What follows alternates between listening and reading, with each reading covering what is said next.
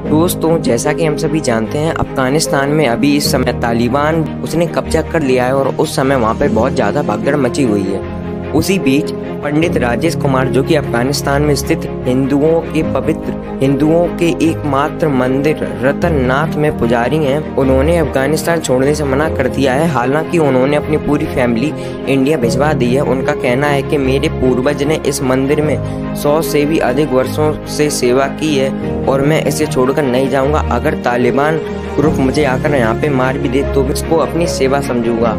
दोस्तों आस्था किसी चीज़ में बहुत ही बड़ी चीज़ है। दोस्तों, जैसा कि हम सभी जानते हैं कि हम इंसानों ने पृथ्वी के बाहर कई ग्रह की खोज कर लिया हम लोग चाँद पर भी कई बार जा चुके हैं। लेकिन गाइस क्या आपको पता है कि चाँद पर इंटरनेट की स्पीड कितनी आती है? जी हाँ गाइस चाँद पर भी इंटरनेट की स्पीड आती है, वहाँ पे भी इंटरनेट है। दोस्तों, नासा ने चाँद पर वाईफाई की सुविधा उपलब्ध कराई है। वहाँ 19 एम की स्पीड आती है। जी हाँ गाइस 19 एम आपके घर पर इंटरनेट की स्पीड क्या आती है, नीचे कमेंट में ज़रूर बताइएगा। अगर वीडियो पसंद आई हो तो प्लीज़ वीडियो को लाइक कर दें चैनल को भी सब्सक्राइब कर दें।